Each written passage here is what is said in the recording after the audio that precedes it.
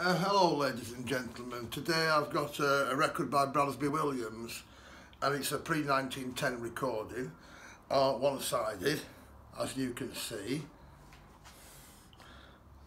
I don't know if that ref reflects all right where you can see it. Mm. And there's the there's the, the the label. Micawber and Uriah Heep, spoken by Mr. Bransby Williams, from David Copperfield. And it's pre-1910.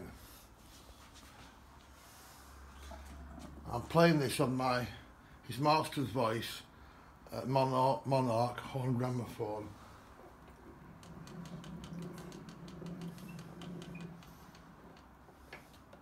Which is an acoustic recording, ladies and gentlemen, pre the 1928 electric recording.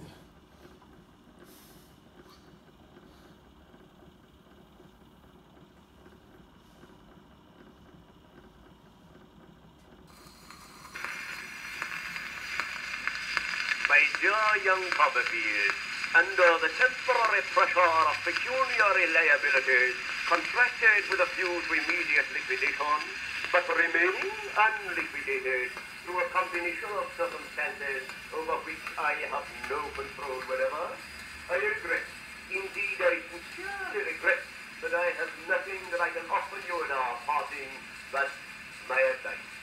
Well, my advice may be worth taking, and indeed it may not. I've never taken it myself.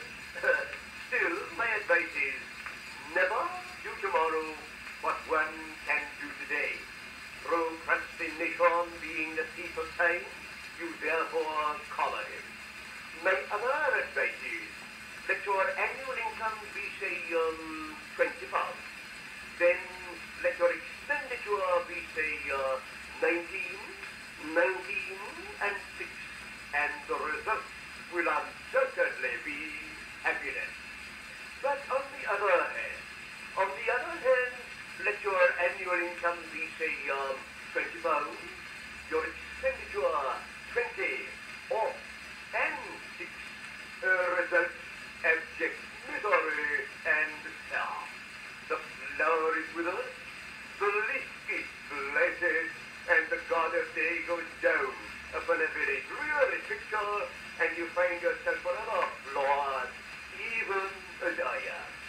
But still, still, my dear young Copperfield, the friend of my youth, I always keep up my spirit, always keep up my spirit, as I'm shortly, well indeed I may say, momentarily expecting that something will undoubtedly turn up.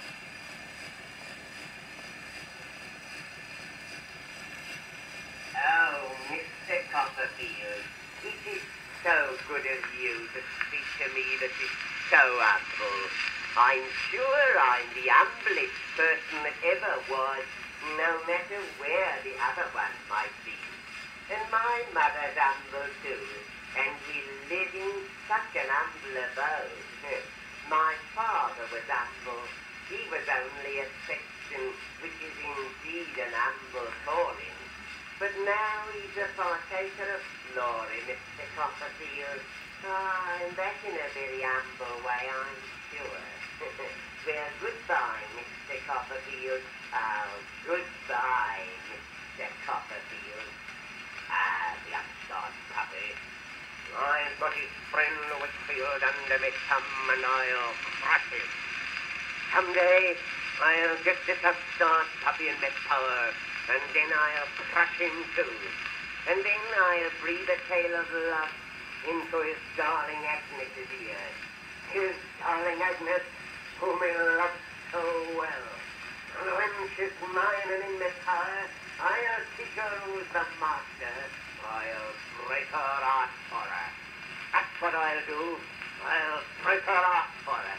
Oh, oh, Mr. Copperfield, I thought you'd gone. Goodbye, Mr. Copperfield, and God bless you. God bless you, Mr. Copperfield. Cut him! Cut him! I hate him! I hate him!